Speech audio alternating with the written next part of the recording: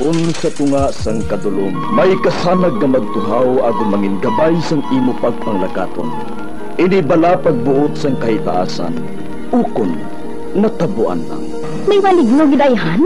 Kung ang isa kapatay hinali nga mabuhi, makasiling ka pala nga ini, isa ka milagro, o kung kahimuan sang siyensya. May impyerno gidayhan? Ini nga pala mangkutanon, pagasabton sa sini nga pala tuntunan. Mga misteryo, sang kabuhi. Mga misteryo, sang kabuhi. Kasaysayan nga hindi mapatiyan. Apang nagakatabo, kung kamo may kasaysayan nga daw hindi ginaandan, ipadala lang diri sa atong palatuntunan. Mga misteryo, sang kabuhi. DYWB Bombo Radio, Mandalagan, Siyudad San Bacolod, kag inaamon pagatagan sang kabuhi diri Mga Misteryo, Sang Kabuhi.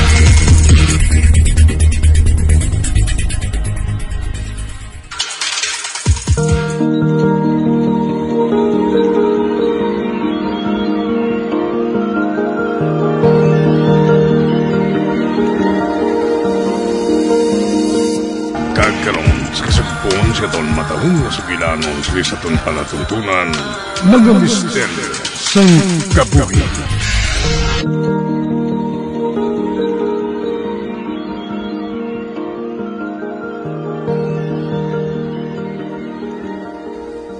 Um, ba? Nakita ko. May ginsulod nga kung anong lalaki sa iya nga bulsa. Wala ko na mahimutaran kung ano ato. Ang gintutukan ko, among interes niya sa pagkuha sang buhok sang imahin.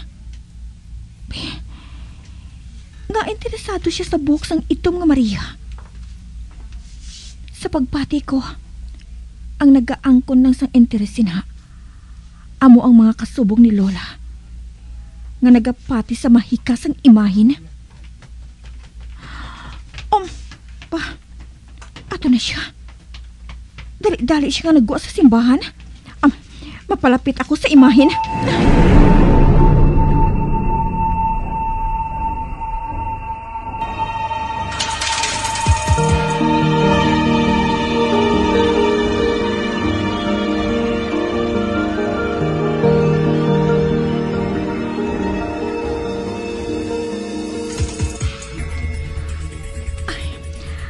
Ari na ako sa tubang sang imahin. Aber, kapkapon ko sa sulod sang bastidor ang tuyo ko diri.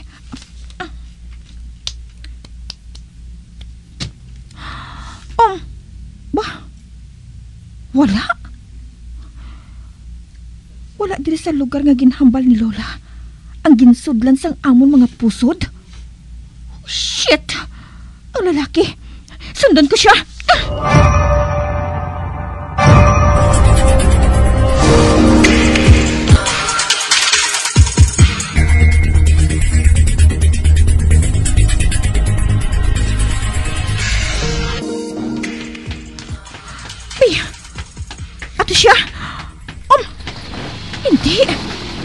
Ato na siya! Madasig ang pagpadalaga niya sa motor. Sino siya? Kag anong tuyo niya sa pusod namon sang akon mga kapid? Ay! Si Kiriko. Siya lang ang managhiwit nga kilala ko. Nga mortal nga kaaway ni Lola. Um, Gusto. Makuha ako sang duta nga gintapakan niya. Kag isulod sa plastik.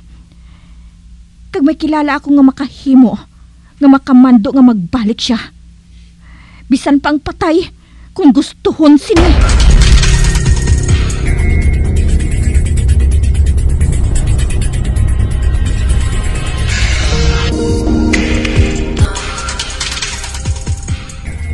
Hindi! Bay, Glory, palihog. Hindi na! Ini na ako gusto nga buhaton, inak. Nagpangako na ako kay Padre Roman. Hindi ko na pagamito ng ako na hibalaan. Mas pilion mo pa ang pare nga ato? Sa sa kaluwasan naton tanan sa balay nga ini? Oh, Glory, magpamati ka. Sa mga tinion nga ini, base kun ato na kay Kiriko ang aton mga pusod. Mabutang kita sa katalagman. Mapahamak kita, Glory. Wala ako nadlok sa iya. Kag sa bisan sino. Nakahibalo ako nga hindi ako pagpabayan sang mahal nga Diyos. Kung nagapati ka sa iya, mahangpan mo ako. Mahibalaan mo nga wala sang pulos ining nahibalaan naton. Magpangamuyo kag Grita. Apang wala ka gani isang buhaton nga malain. Tawgon mo lang ang amo nga lalaki para ibalik niya ang aton mga pusod. Bisan pa!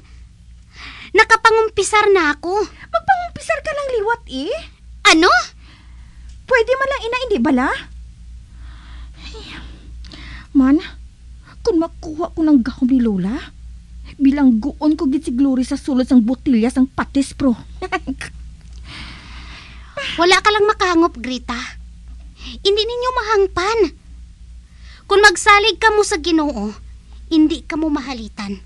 O kung masakit ni Kiriko, o kung bisan sino, magpati ka sa akon, Grita. Um, Kaina pa ka mo dira ha? Dapat obvious na sa imo Greta. Nga hindi mahimo nga pangabayo ng buang-buang nga ina. Ako na lang matawag sa amo nga lalaki. Om, Jilly? ikaw? Basi ko na ano naman ang matawag mo, ha? Hindi ko man to yung sala sang nagligad. Si Mrs. Ruiz sabi, lain man niya nga picture sang bana niyang ginahatag sa akon. Atong ginkuha sa zoo. Te kundi, ginsulong siya sa mga manog. Kay dapat gali, solo ang picture niya. Kag nakaibalo na ako subong. Hindi ako mahimo nga magsala. Basta ha, sigurado ka nga nalapakan niya ang duta nga ini ha. Hindi ako tanga, no? Okay? Kuna mo, ihatag na ina sa akon para nga maubra ko na dayon.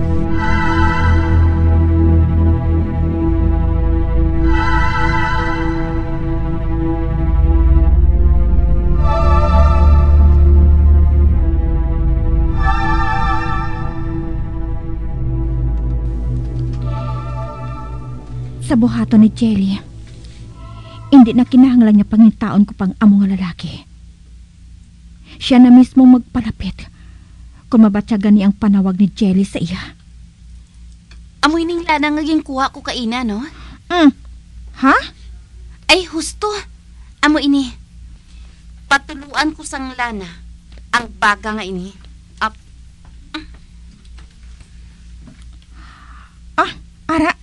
Nag-aso na. Kag amoy ng aso nga madalas ang spell sa nahamtangan sang amo nga lalaki. Oh, palihog ko gani sang vial nga ina. Abi, ap, ah. ibalik ko ini sa kahon. Ap, Karon, igaang sa aso ang imo mga kamot. Mauyatay kita. sige. Karon, tawgon naton siya. ha? Magsunod ka sa akon. oo ah. Up. Magpalapit ka sa akon kun sa diin ka man. Magpalapit ka sa akon, kundiin ka man. Karika, karika. Karika, karika.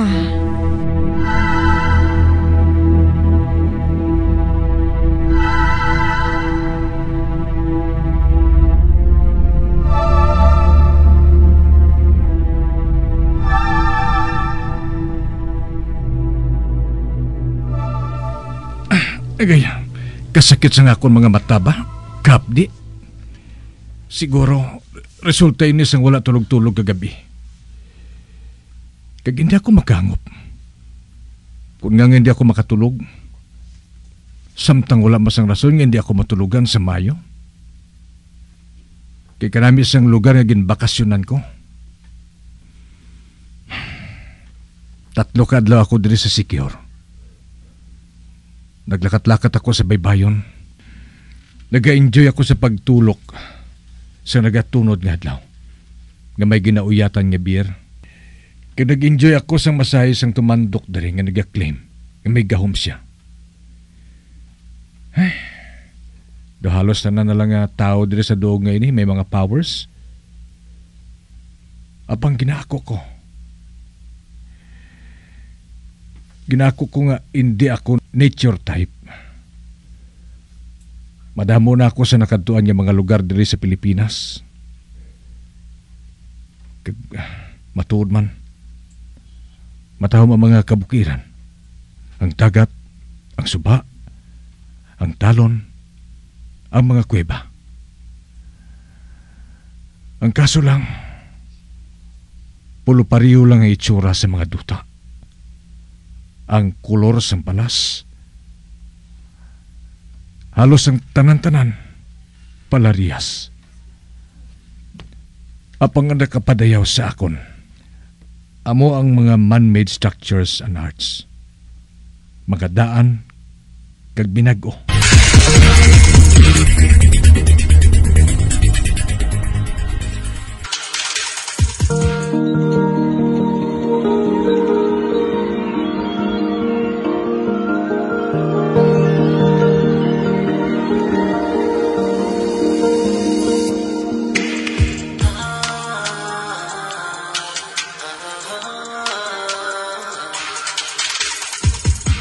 Ah, nagkagali.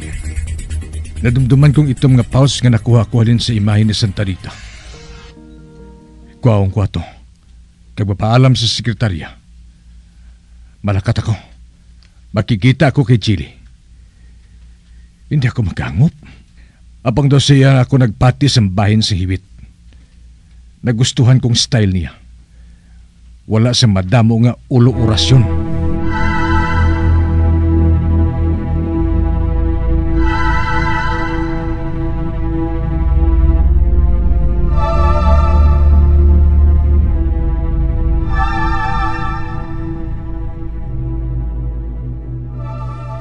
Malakatanay ako, Lola. Sister, on call ako subong eh. Hindi ini hampang chili. Hindi ini paglahog-lahog eh. Lola, wala man ako nagalahog. Lain na ang panahon subong la. Ang mga tao, wala na sang panahon nga magkadto sa mga mabawi nga lugar no. O kung ano pa dira. Text-text na lang ya subong. O, Ario, may cellphone ako. Ang mga kliyente ko la, subong nga oras sila available. Tig pala niya ga. Gani babay na la ha. Up, mm. Bye la. Grita, hambaliga ni ang utod mo nga ina ha? Ginahimo niya nga kabuangan ang mga nahibalan niya. Madugay ko na siya nga ginahambalan la. Apang matigagin ang ulo niya eh. Pareho gid sila ni Glory. Nakahibalo man kita la. Kung sino lang sa amon nga tatlo ang may matarong sa imo gahom. Apang wala mo nakuha ang pusod ninyo. Naunahan ako ni Kiriko. Mabaskog ang duha-duha ko la. Nga tawo niya ang lalaki nga ato. Wala la ako makahibalo kung paano niya nahibalan ang bahin sa amon mga pusod nga natago sa imahin. Paano la? Ay, wala ako makahibalo. Madamo siya sa mga galamay. Gamhanan siya kaayo. Kung tani, sa iban mo na lang ang lugar gintago ang mga pusod namon la. Hindi gani sa safety deposit box sa bangko. Ginhalad ko ato sa itom nga Maria. Amo ba lala? Apang nga kinahanglan mo ang mga pusod namon. Tungod sa pag-isa lang, lubos nga makilala ang kaugalingon kag ikasarang. Ang maayo pa. Buksan kong bintana diri sa kwarto ni Lola. Para mainitan man siya. Kidaw kalapsi na gid sa iya sa panulo ko. Ay,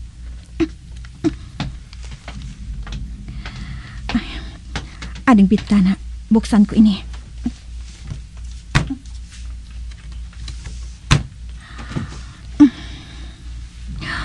Um, ba? Si Glory? May kahambal siya nga lalaki sa tubang sang gate. Kag doon nagkabaisay sila nga duha, oh.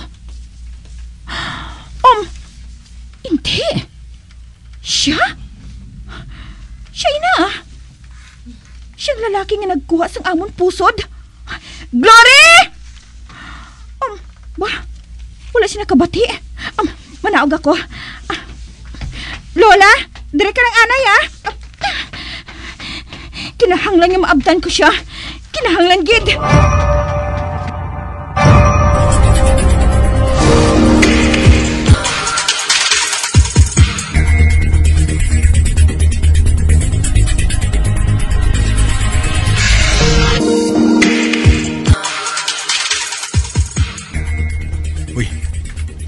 kanahong ni Jiling babae ngayon niya. Apang wala sa sang bangs? Ah, miss, handa ko nga magulat kay Jilly. Kinanglan niya mabulong niya ako. Tungod basko ko nung naghiwit sa ako ni. Nagkadto pa ako sa sikihor para nga magkuha lang sa buhok. Gani, please naman miss oh. Nga ah, ano ba lang masakit mo? Ginhiwitan ako. Gimpahiwitan ako sang akon ex-girlfriend. Kaya gina expectar man ni Jilly ang pagbalik ko diri. Hindi ka magpanakit sang balatsyagon sa mga babayi kung hindi ka gusto nga mapahamak. Ulihin ang tanan para dramis. Nakasakit na ako sang balatyagon. Kaya ginhinulsulan ko na to. Kaya gusto ko lang nga matapos ng sumpa ngayon ni. O kung hiwit. O kung ano man dira. Uton mo bala si Jilly? Oh, Nagapamulong ka man? Basi kung makahibalo ka man ah. Kag mabulong mo ako. hindi ako manugbulong. Kung mapasudlan na lang ako ay, please. Ulatong ko na lang si Jilly. Importante kikatama nga mahambal ko siya. Ginabudlayan ako sa ginabatsag ko ngayon eh. Ginapabudlayan ako sang naghiwit sa akon. Maglikaw ka sa mga babayi. Kag untati na ang pagpangbabayi. Madali lang. Uy, maging kuot siya sa bulsa. Oh, ari oh. Protektahan ka niya sini. Ba? Uy, ano ini? Estampita? Si San Miguel? Ang Archangel. Magdebosyon ka sa iya. Ipangamuyo mo ang mga nasulat dira. Kay ipalayo ka niya sa mga manughiwit. Um, ah, miss, mag-aayo pa bala ako sini? Magpangamuyo ka.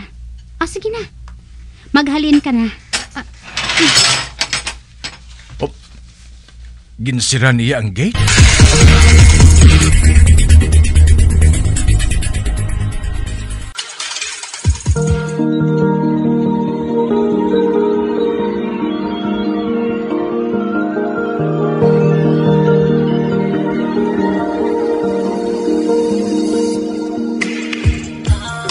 Sa dagarinyo sa pagkumati ang batahong magsukon sa tansugilanon kaysa palatuntunan.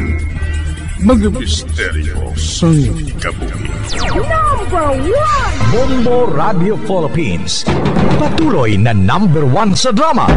Fast Paradio. Bombo!